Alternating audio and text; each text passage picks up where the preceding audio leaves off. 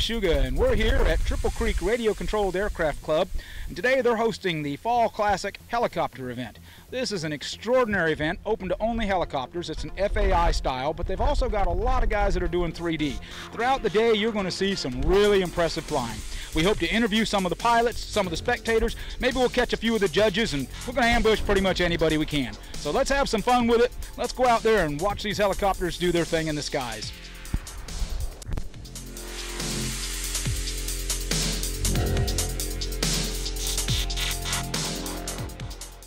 We're here with Nob Meraki. Nob is one that set up this whole thing. Nob, tell us a little bit about this uh, Fall Classic helicopter event.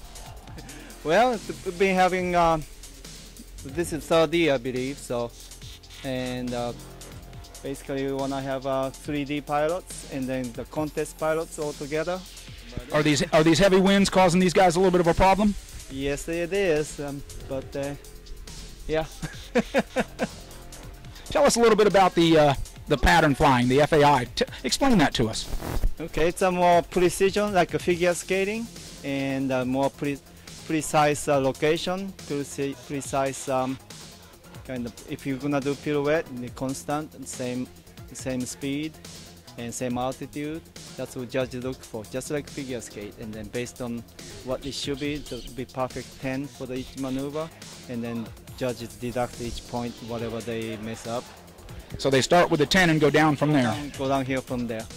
Well, Nob, I know you're busy, and I know you got things you got to get to. We thank you very much There's for your time. one of the judges for this helicopter fall clack event. Larry, when you're, what are you looking for out there with those pilots? Well, Steve, we actually look for uh, uh, precision of the maneuver, and that is in position of the helicopter uh, as it relates to the center of the maneuver, uh, proportionally how the maneuver is done, and if they actually do the right maneuver. Some people do the wrong one. Of course, that gives them a zero. So they, they start out with a 10 and then go down from there? Well, you start out with a 10 and then you you degrade from there. Nobody can afford a 10. Uh, not not from me. Not from me. Yeah, I have a tip. I'm only judged with a tip jar, and uh, that doesn't work. So I think I'm gonna start billing for for certain numbers of very very high. I'm just gonna bill them for it. Has the wind been affecting these guys today? Uh, it affects them some, but it doesn't affect the scoring that much because everybody's on the same uh, level playing field. So, but it it is moving around pretty good, including the judges' papers. Do you have any tips for anybody that would be a judge, want to be a judge for one of the events? Uh, take up take up knitting. No, it's uh, nothing to it. Um, it's uh, it's a lot of fun, really. I um, I don't have any tips other than just uh, listen to what the pros tell you and uh, go from there. Uh, the biggest tip, the biggest thing is it doesn't matter how accurate you are, as long as you give everybody the same treatment, and that's that's the secret to it. So. Well, you're a very fair judge, and I know you've done this three years in a row now, and uh, we appreciate your time. Thank you so much. You're quite welcome, Steve.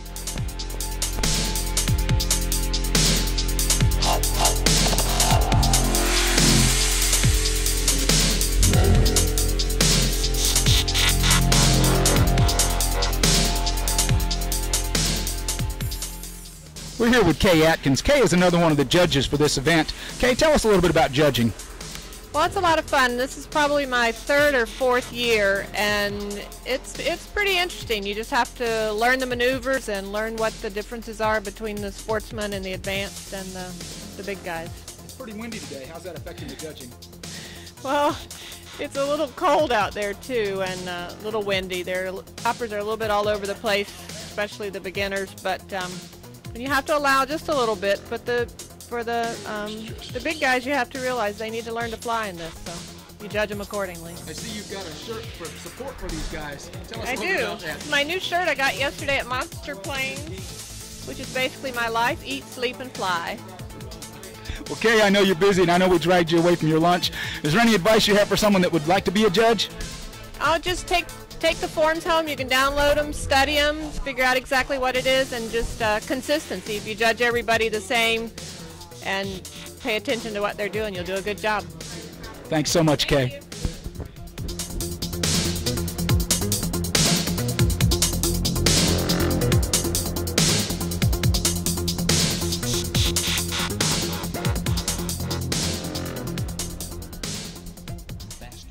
We're here with Gina Tucker. This is a young lady that flies. We don't see a lot of these uh, girls flying helicopters. Do you know how long have you been flying helicopters? Just under two years. Uh, January will be two years. Mostly my T-Rex 600N, but I also have a Synergy in uh, 5, and I also have a T-Rex 500 and a T-Rex 450. All of which are fly- They, I like the fly barless simply because of stability. Um, they just feel a whole lot more locked in than the fly barred machines did when I first got started. And uh, for somebody like me who hasn't been in the hobby for very long, the fly barless is just a tremendous help in, in learning the process, you know, of learning how to fly these things because because of the stability. Have the winds been uh, difficult to fly in today? Today, no. It's only been about between 18 and 20 miles an hour, so it hasn't been kicking me around too much. But uh, I'm used to it because the little hill that we fly on in Sebring, um, the, the average wind speed around there is between 6 to 10 miles an hour, gusting at 18 to 20 all the time. So I, I'm pretty used to it now. Gotcha. So if you had any advice for a young lady that was getting into this hobby, what kind of advice would you give them? Well, um, just take your time, uh, do it right. Make sure uh, you get your hover orientations down first. Um, make sure you can hover nose in, side in, both sides, tail in, um, and uh, before you start trying to do any kind of forward circuits because it will cost you money. And uh, uh, start off with the largest helicopter that you can possibly afford because the larger the helicopter, the more stable they are. And I started with a 450 and, and it was a clone of the T-Rex 450 and it was a really bad helicopter and it just didn't fly right and my learning curve was almost downhill. So I would suggest buying a good quality uh, helicopter, Align or Gaui or uh, something like that, you know, to get started with and, and 500 size or bigger preferably. That sounds like some really good advice. We appreciate your time. Go out there and show those men how to fly these things. I'll try. I'll give it my best shot anyway. Thank you so much. Thank you.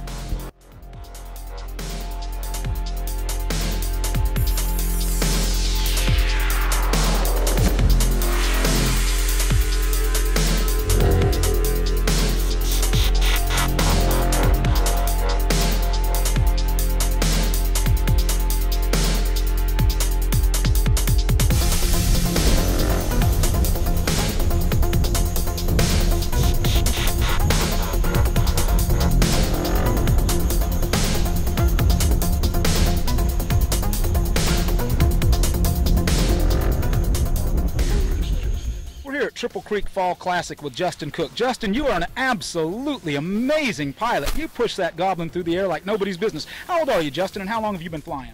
About, I'm uh, nine and a half, and I've been flying about a year.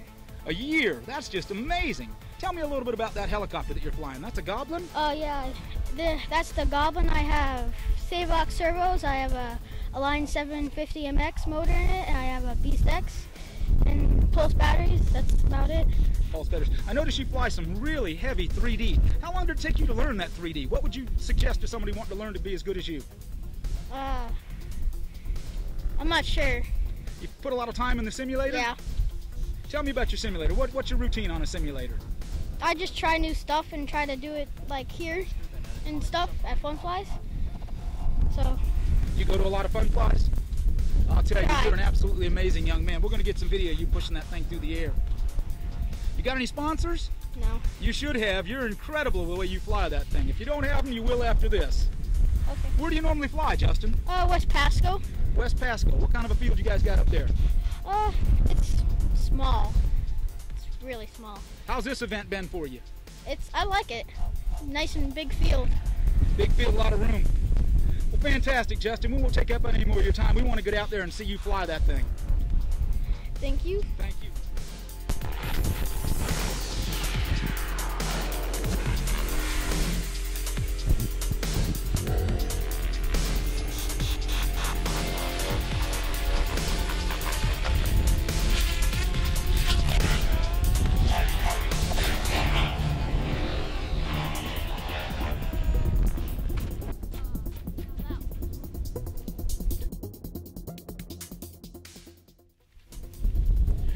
John Cook. This is Justin's dad. You have got to be one proud father.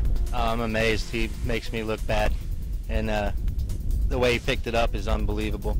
Tell us a little bit about that. How did you get him into helicopters? I had neck surgery about a year ago. I was bored, went and picked up one of them little three-channel helis, you know, the $29 ones. Let him play with it. Then from there, he's like, "Oh, I want a little bigger one." Got him the SR 120. He started flying that around like it was nothing. So I built him a inexpensive EXI 450 fly bar just to get him going, and uh, it went from there. You know, it's the, "Oh, I can't do it, Dad." I'm like, "Justin, I can't fly." He's like, "Just you know, take it easy, take your time, and within a matter of months, I told him, you get inverted with it, we'll go pick you up a 550, and from there, between that and having the Phoenix, he's just escalated. Now, I've been told that he uh, watches television while he flies the simulator. I caught him the other night, He's watching the uh, SpongeBob and doing a whole routine on his sim. I'm like, what are you doing? He's like, doing a routine. I'm like, you're not even looking. He's like, I don't have to. I, I can feel it. I mean, he's inches off the ground. I'm like, how can you do that? Every now and then, get a little glance back to it. So I guess he's training his fingers. He's got the uh, the ability. What's his mother think about his helicopter abilities? She's proud of him. She'd be out here if she could be out here, but she's got skin cancer, so she really can't be in the sun. But uh, she's happy. The deal is he does good in school. He gets rewarded by flying, and if he passes at the end of the year with good grades, he gets a new heli. Fantastic. So we uh, encourage him, keeps him out of trouble. He can't play sports, so this is the next best thing for him. So John, we appreciate your Thank time. you. Thank you so much, and we're so glad that you're able to do that with your son. yeah, we love it. Every chance we get, we're out here flying. So Mike, how long you been flying helicopters? Uh, a little over a year. Over a year. Well, you uh, seem to have mastered it pretty well. What's the secret? Uh, lots of practice. You do the simulator? I do. I have the Phoenix Flight Simulator. Fly it all the time. Now you're one of the uh, pilots that's entered in this event today. Yes. How you doing? Do you think the wind affecting you? Oh, a little bit. Uh, the second flight was definitely windier than the first. Tell us a little bit about this helicopter. You're flying a T-Rex 700. Yep. T-Rex 700E. Pretty much. um pretty much um, normal setup. Got uh, 12 cell in it. Uh, running pulse batteries. They seem to hold up pretty good uh, in this flight. Got the. Uh, uh, we got the Futaba Futaba 750 uh, gyro in it, working really good in this wind today. Now that's the flybarless. What do you got to control that flybarless? What's your gyro on that one? I've got the uh, running the Futaba 750 in it. Okay, that so that controls the 3D uh, the uh, flybarless also. Mm-hmm. Yep. Beautiful. Well, thank you, Mike. We appreciate your time. We're here with uh, David with Elite Performance. David's one of the vendors here at the Triple Creek Fall Classic Helicopter event. David, how are you doing today? And tell us a little bit about your uh, your uh, hobby shop. Not too bad, not too bad. Um, we're based out of Tampa, Florida. Uh, down here today at Triple Creek, uh, enjoying the, the beautiful weather here. Um, but uh, a little bit shop that I got is um, specialized more in um, higher end RC product. Uh, I personally specialize uh, in the heli side, uh, setup, building, um, flying, whatever it takes to uh, get a customer's business and help them out. Tell us a little bit about this really extraordinary mobile trailer you have here. Uh, just uh, kind of uh, used to race motocross. Um, kind of can't afford to be hurt anymore, and uh, kind of convert, basically converted it over to um, you know a mobile shop, and it kind of stays at the side of the house for a workshop too. So it's kind of multifunctional. This thing looks like the ultimate man cave. I see you've got a flat screen and a refrigerator. Yeah, flat screen, uh, refrigerator, generator, uh, satellite TV, uh, generator. So uh, kind of all in one for the weekend. If somebody wanted to buy something from you, what kind of a website? What's your website address? Uh, we are uh, TampaHobbies.com, Elite-PerformanceFL.com. Uh, they can uh, find us there and uh, get all the information that they need. David, thank you so much for your time. We appreciate it. Not a problem, not a problem.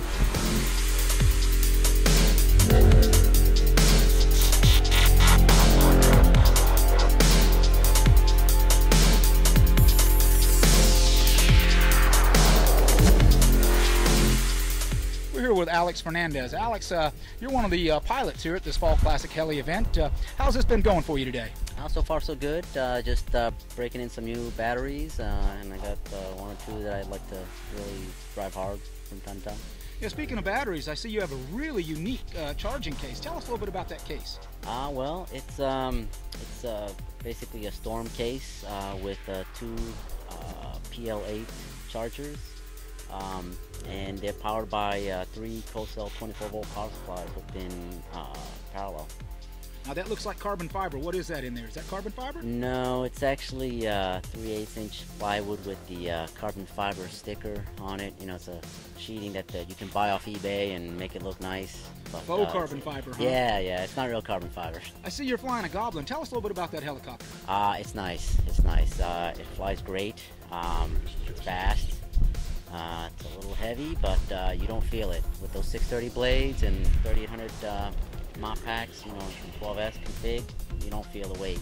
How's the wind affecting you today? Uh, I, you know, it's a little windy. Um, you know, it makes you a little un- unnervous because sometimes, you know, you see the plane, the not the plane, the heli drop underneath real quick, and uh, but you got to react fast enough, and but it's not too bad. How long you been flying helicopters? Uh, gonna be three years. Three years. Yeah. You into the 3D? I can tell. Yeah, I'm still practicing. Still got a long ways to go. Long ways to go. Yeah. Well, Alex, thank you so much. We appreciate your time. You're welcome. We're here at the Triple Creek Fall Classic Helicopter event with Griffin Morale. Griffin, how long you been flying helicopters? About a year. About a year. What helicopter do you fly? T-Rex 550. Tell us a little bit about that T-Rex 550. Um, it's really fast and loud. Fast and loud. You fly gas or electric? Uh, electric. You fly electric. Tell us a little bit about that electric helicopter. Um, well, it it can do 3D, and I do do 3D with it. Um, and it's fast. It's fast, huh? Really fast. How long you been flying? Uh, about a year. Now, how old are you? Uh, 12. 12 years old. Do you a lot of, do a lot of time in the simulator, or how did you learn? Uh, yes, I do do a lot of time in the simulator, and I also learned on a uh, Blade MCPX. What would you recommend for a young lad trying to get into this hobby? Um, uh, Blade MSR or Phoenix RC. Phoenix RC. Where do you normally fly? Um, Can-Am. Can-Am. Tell us a little bit about Can-Am. Well, it they have a really big field, and they're very nice there. Um, and they do a lot for the people that fly there. Excellent. So, Griffin, I understand your father's not here. He's missing all this fun. What do you got to say to Dad? Um, that I wish you were here right now because you're a very good flyer, and I miss you. Well, we appreciate your time. Thank you so much, Griffin. Thank you.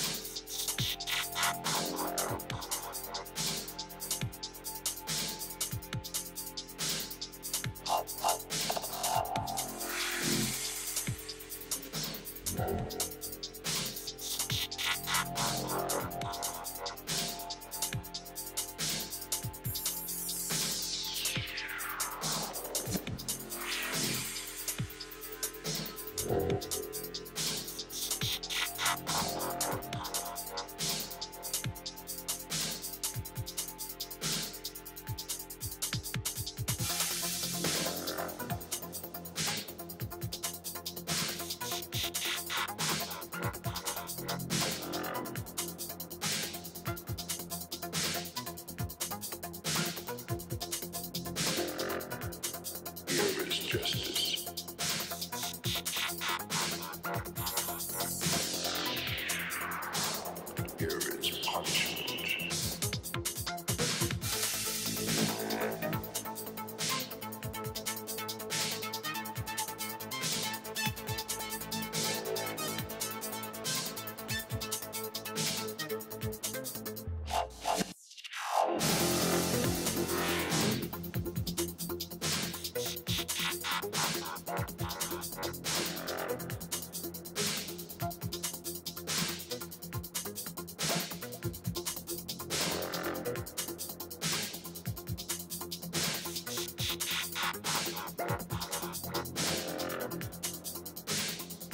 Faster than an atomic submarine.